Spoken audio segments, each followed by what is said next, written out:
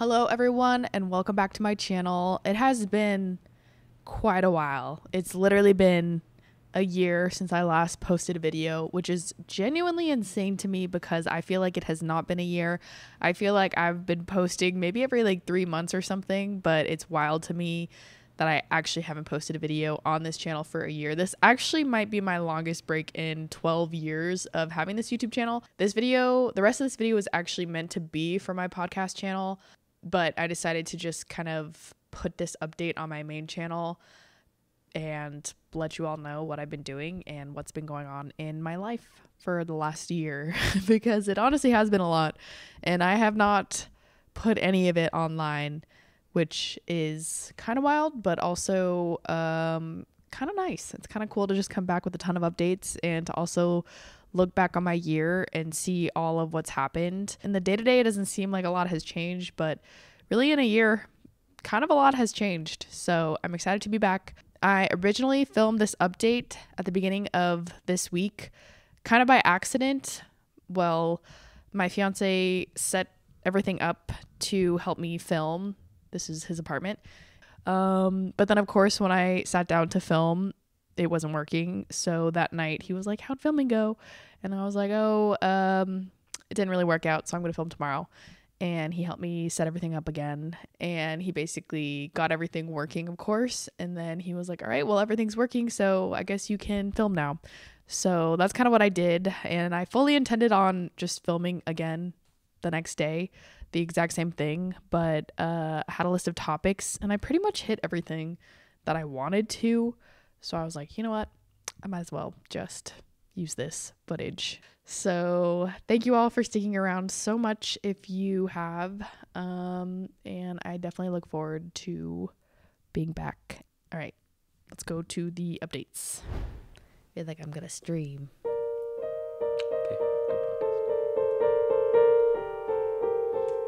You better play something in your earphones.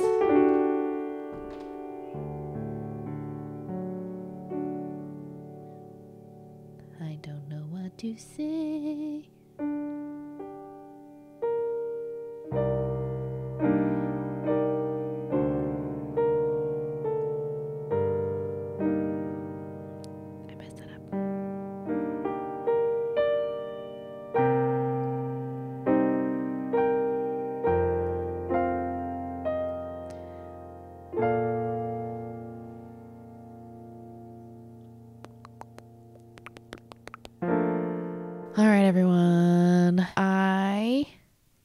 Have so many updates. I it's kind of like when you don't talk to a friend not on purpose. You just have a lot of life happenings as a digital nomad. I've met a lot of really amazing people over the years.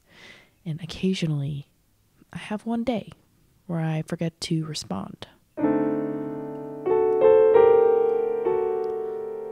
And then that day turns into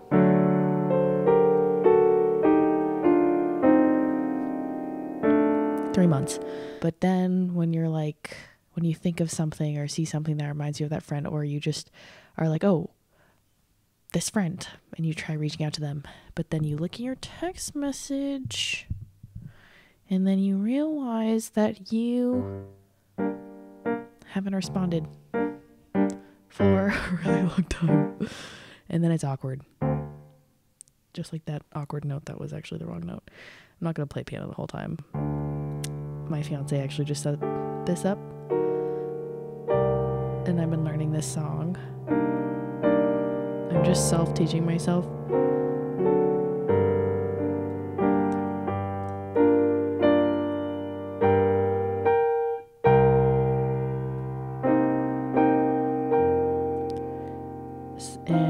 Honestly, it's just like a lot of fun. I've never heard myself uh, play in headphones.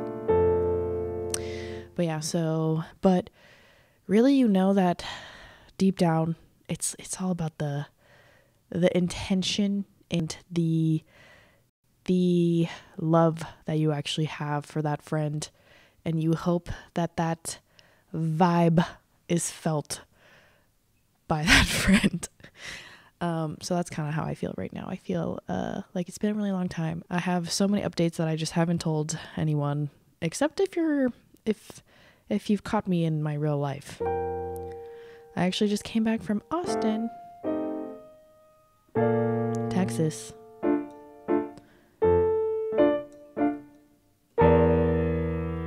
And one huge update is that I got engaged, which is crazy because I don't think I even, if you've been watching my content, actually, yeah, I did say that I was dating someone back in February. So, but I will say that every single time that I've had that scenario where it's just kind of too awkward to send a text, sometimes like a voicemail will work, just be like, hey, sorry I didn't um respond. I had all these life events happen and now are finally good. But the biggest way to get over that is to see them in person. Yeah, that's by far the biggest way. One time I had this occur where I hadn't responded to someone who I really like and I actually would like to be friends with her, but I just wasn't friends with her. But we know each other on like a kind of professional basis. And literally saw a street sign with her name on it. And then I went to like go text her and I was like, oh, haven't texted her back for a really long time. And uh, then I happen, I'm doing the artist way, which I've talked about throughout my channel probably since college.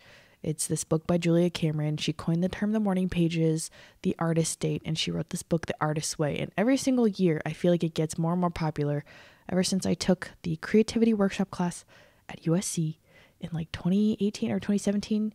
But now, even now, I see people talk about it and do the program, and I'm currently doing it with my fiance.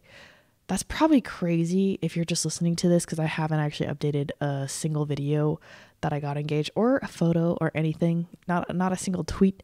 Not as much of a not as much as a tweet or a word or a peep. But uh, that actually kind of took a while even to tell my like inner circle of friends or just like update everyone if I didn't get to, I might not, I don't even think I got to everyone. Mostly I was just trying to uh, tell people when I saw them in person because I feel like it's kind of more fun that way. I met a subs, she was a subscriber. I knew her name up until this point, but um, I actually met a few people and it was kind of cool because I was there with my cousin. He actually was a part of a startup accelerator. And so he just invited me to come through and hang out with him. Shout out to Alex but uh, it was really fun being in Austin with him because I experienced Austin. I moved out. I was only there for like three and a half months or something, um, end of 2023 to 2024. But uh, I experienced like it just felt like alignment, like pure alignment, synchronicity up the wazoo. Just God telling me this is the place that you're supposed to be.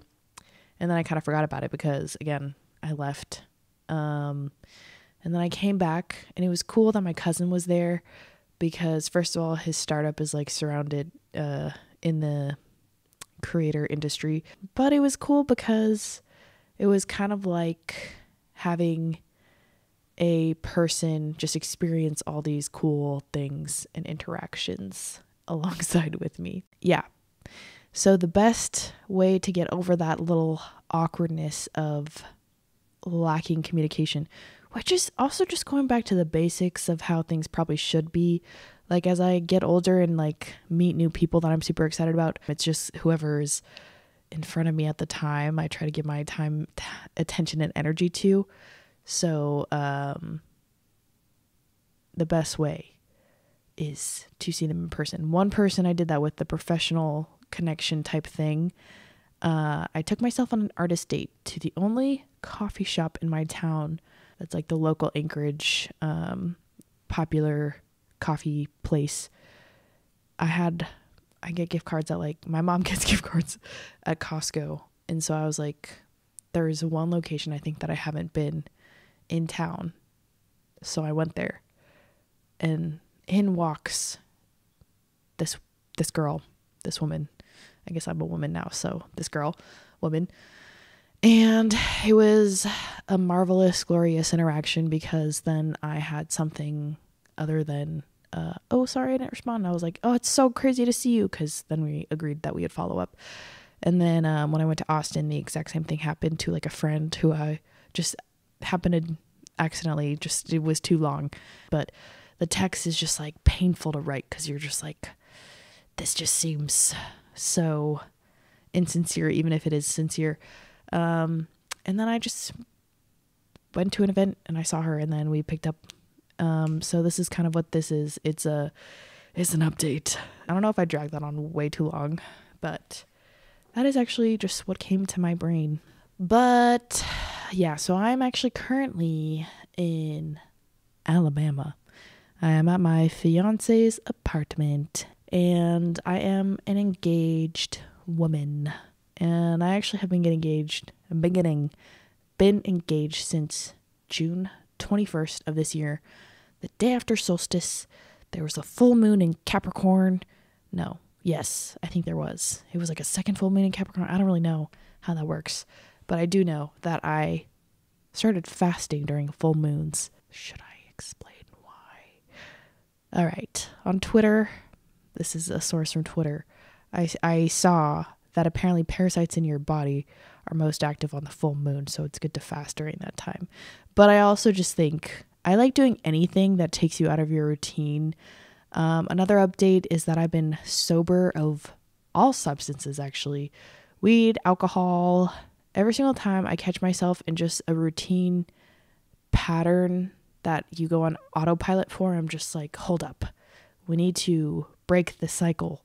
We need to mix something inside this little thing. I'm someone who eats pretty well, so me missing like a day, even 3 days of fasting, it's not like a big deal. And I know that there are whatever uh complications that can come with fasting, but for me I'm just like honestly I probably eat too much and it's not even like related to a weight thing. I think it's just really interesting to be able to fast and to test your mind and your body because you're going to be fine without going with food for a day. And uh, there are actually, you know, pros of fasting for like cancer and diabetes and all that kind of stuff. But I'm not a doctor, so I'm not going to state those as fact. But yeah, even for the sobriety thing, I told one of my friends from college, she was actually my college roommate, and she saw on my whiteboard like podcast ideas and I was going to talk about um, sobriety and kind of my journey to getting here and all my synchronicities and stuff that led me here. And she was like, "Huh, you've been sober." And I was like, "Yeah." And she was like, "I feel like you've been flirting with sobriety for a really long time, even since college." And I was like, "You know what? You're actually kind of right because I have because I remember uh, doing like I don't think I did it in college, but I did it after like sober October. Um, I would usually do it once a month or once a year for a month, but it just anything that you do mindlessly over and over again, I try to question those patterns in my own life and break them. Um, it was funny because I went on this walk. I just happened to be going through Nashville, and I knew that I'd be going through Nashville this time and this YouTuber that I watched named Jill's Gurin. Uh, I don't even watch her super regularly, but I did. I do really like her stuff, and I, if I'm in a cycle of watching her, I'll watch her a lot. But she was like the first person that I saw on YouTube talking about cycle syncing, so like doing different activities in different cycles of your period, which is honestly crazy to me that no one really talked about that until kind of recently. It's just like a more natural way to live life as a woman, um, as a female. She hosted a walk, and so we were talking. We were actually just talking about Austin water, because if you go to Austin, some of the restaurants, if you're just drinking tap water, tastes like dirt. and I am a self-proclaimed water connoisseur because I grew up in uh, the, you know, Washington State and Alaska, and I just feel like Alaska has some of the cleanest water. And I can tell that because it doesn't have a taste, but it tastes so good. It doesn't taste like dirt, like in um, Texas or at least Austin. It doesn't taste like a little metallic or metally or whatever it tastes like in LA from the calcite that's in the water. It's groundwater and there's like a lot of minerals, natural minerals in the ground. And so the water, since it's groundwater, has calcite. And so the water tastes off in LA, Austin, tastes like dirt in Austin. Alaska just tastes like delicious water because Alaska or Anchorage water is glacier fed from the Eklutna Glacier or the Eklutna Lake, which is from a glacier. And so we were talking about this water and um, how weird Austin water tasted and how like different water from different places just tastes weird. And I was saying that that's kind of why this is not the reason why, but I do think about this. I don't know why my brain thinks like this, but that's like why I like moving around so much. Cause like, what if one of these waters was actually bad for you? Like, what if the LA or like the Austin water or even like the Anchorage water, what if the bad tasting water actually like does something internally to you and kind of affects you in some way? But if you're rotating through the different places, then you minimize your harm. That's probably a I hope I'm not like fear mongering with that one, but it's just like a thought. But you could think that with anything, like for sobriety. What if these substances or whatever actually cause a lot of harm for your body? So then you naturally want to, if you can't like stop completely, you take a break. You try sobriety. What if overeating or fasting or, or overeating causes harm? Or maybe you're like allergic to something you just don't know. I don't know. Or you need to heal your gut. So you take a break from eating and then you fast and so it heals. I don't know. So I just like doing different things. I like mixing up my self and my routines. And um I don't I don't like purposely try to like travel around and like go to all these places, but I have been for like the last few years. So that's kind of interesting. But that is my update on sobriety. And I would actually like to make a a follow up podcast or like something talking about how I got here or why or kind of my journey and like kind of the signs um, or just, excuse me, I need a burp.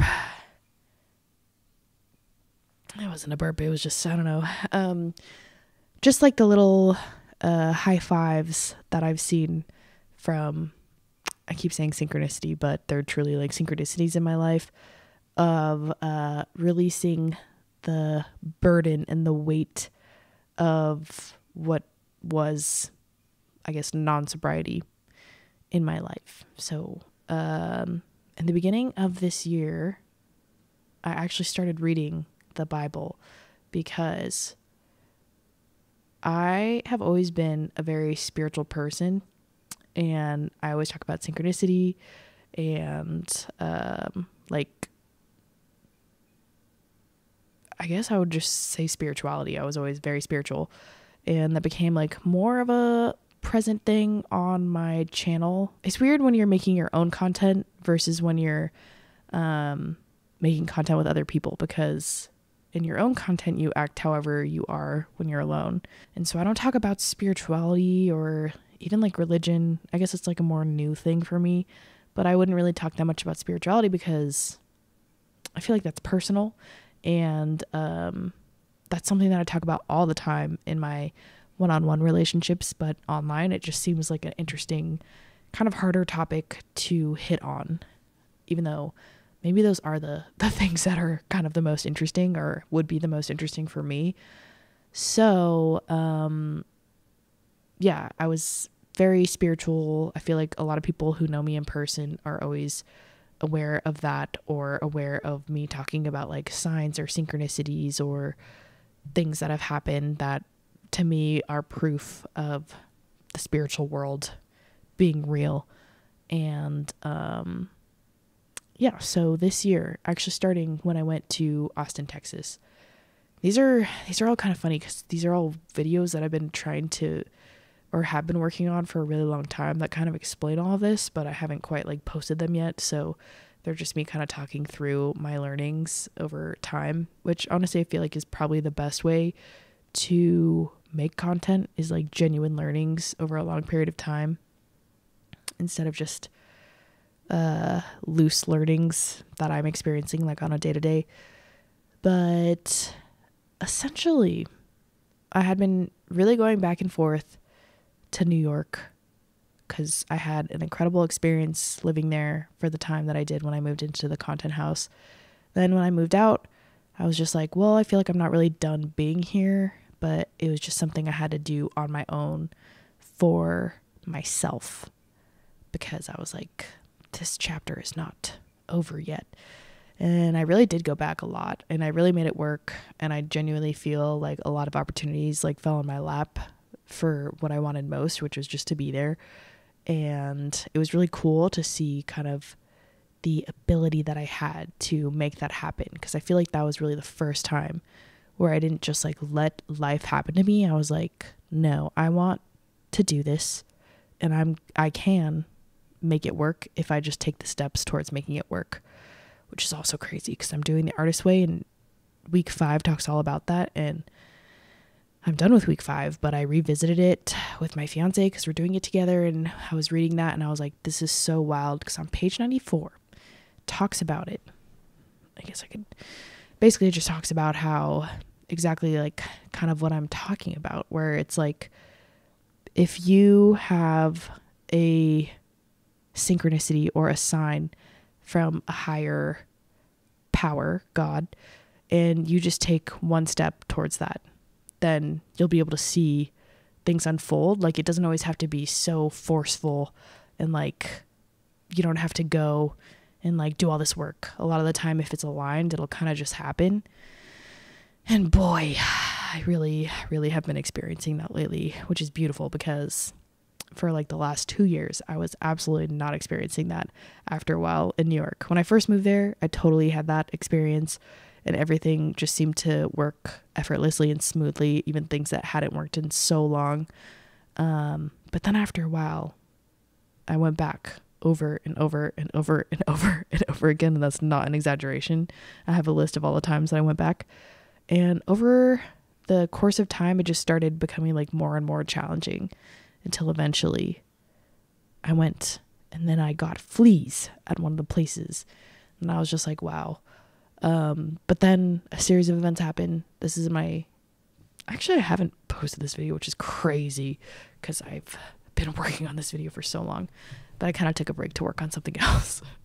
but this one's called uh, I Got Fleas in NYC. So when it comes out, I feel like I probably already talked about this. It's just been in in my head so much that I don't even know what I've talked about on my podcast or not.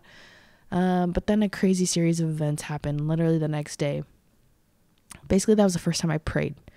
I grew up going to church as a young girl in Washington State, and then we moved. Then I never really went to church again.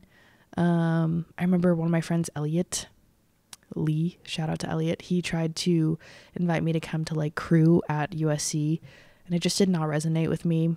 Um, so I really just never visited religion as an adult, but I was very spiritual.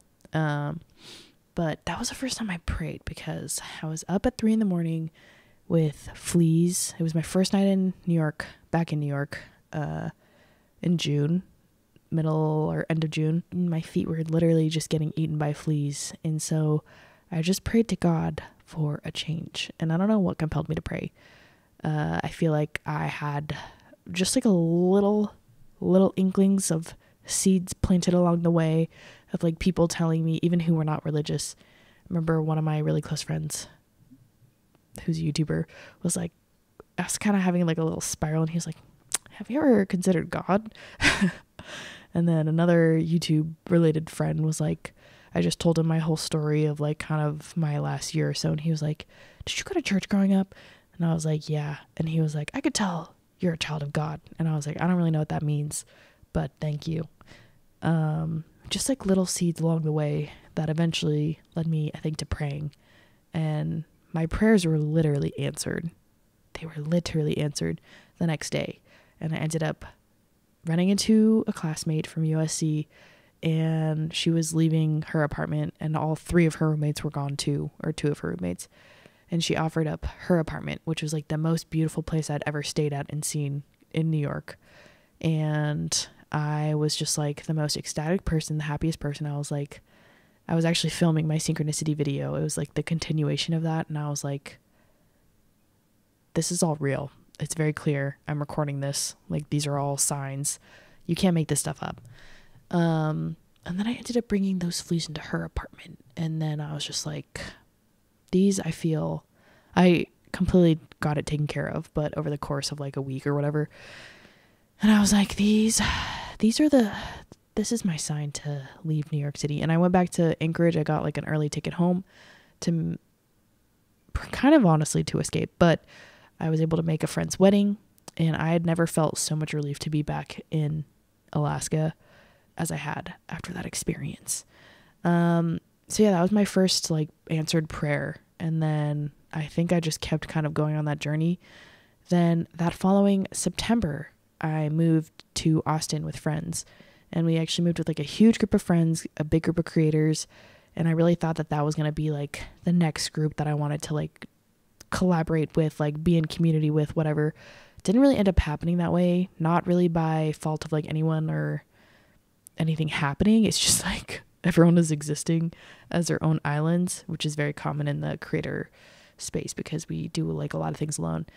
Um, but then I ended up running into a friend that I had met through a friend in New York the first week that I had moved out of my first living situation, which was called Your Mom's House. It was a content house. Met this guy, Isaiah, through a friend Tejas, and my roommate at the time. Uh, right after I'd moved in, he like kind of looked at me with like some desperation in his eyes and he was like, I really need to find a church to go to. And I was like, I'll help you. Like, I'll go to church with you if you want. And then we ran into Isaiah and he basically was, I don't know what he was talking about. He might have been talking about his faith or his church. And I saw him at this event, the only like creator event that I went to that I was invited by because of my roommates. And I was like, hey, I met you in New York. And I don't know, I had the urge to do that. And um, my roommate and I are looking for a church. Keep in mind, I hadn't been to church in actually over a decade. And he was talking about his church. He was like, Yeah, come to mine. And then he ended up inviting us um, and then really just opening his arms like to his whole community that was there. So yeah, I just had a ton of interesting experiences while in Austin, and maybe it literally was just like the physical place. Apparently, it's on the Bible Belt, which I grew up in Washington, Alaska, went to school in California, then moved to New York, and now I'm honestly going to Austin, Alabama, Kentucky, like all over the place in the United States. Um, but I didn't know what the Bible Belt was at the time. My siblings had both gone to school in Atlanta, so maybe they knew about it more. Um, and yeah, we had me and my roommates at the time in Austin, like, had people. It was weird because I just kept meeting people that were either were very spiritual and turned like Christian, or were just like already super Christian um, so we had like people pray over us, and I'd never experienced that.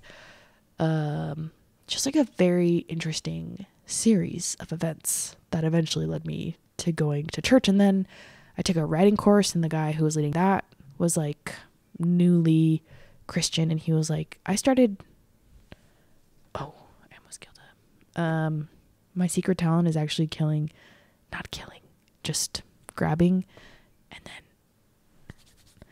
um, fruit flies with one hand. One hand. It's my thumbnail. Um, yeah, so he mentioned that he just started reading the Bible because a lot of culture, a lot of Western culture is actually just based on biblical stories. So his argument was like, if you want to be cultured and understand uh, literature, then you should read the Bible. And um, maybe it was that. Maybe it was like me literally going to church and then I would bring my journal and like take their own ner- notes because I'm like, I'm investigating this for myself. Um, but yeah, so all of that pretty much has led me to I'm halfway through the Bible. And my fiance actually made me a Bible app because I was like, I would like to finish this in a year. And we got like this daily Bible thing, but we didn't start on the first. And so I kept texting him because we're long distance, and I was like, "Hey, what what verse or whatever should I be on?" and he'd be like having to look through the pages and like subtract the date and um then he just ended up making me my my own personal daily bible app. So that was kind of crazy. So that was a really long story of me saying that i'm reading the bible but that's an update.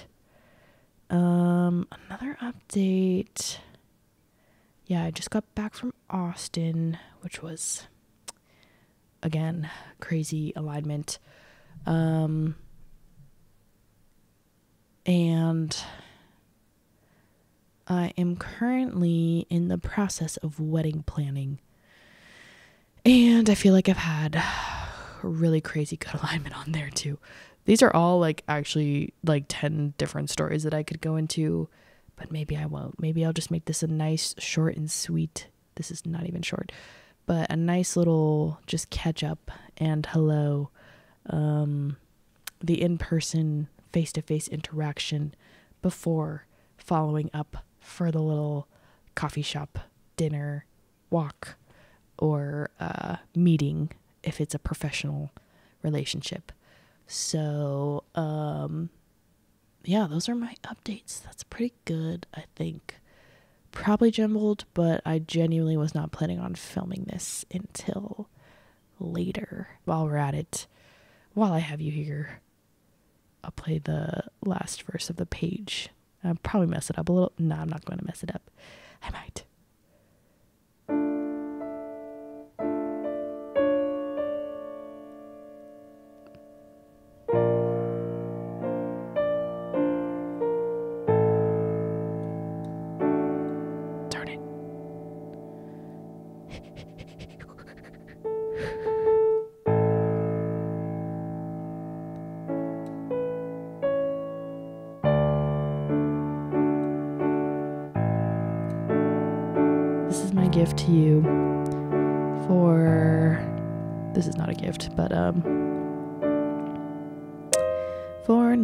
Posting for so long.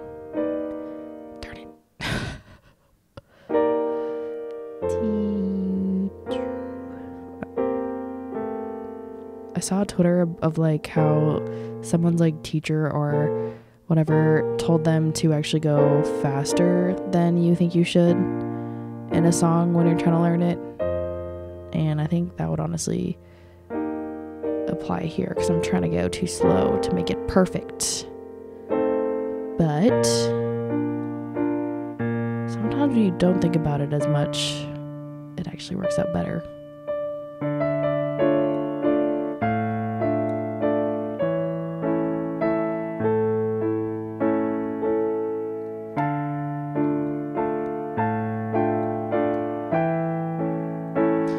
So that's what I've been up to. We're back. We are back. And I'm excited to be back. I have a ton, a ton of videos um, and things that I've like already been working on, starting new. So that is pretty much what I've been up to.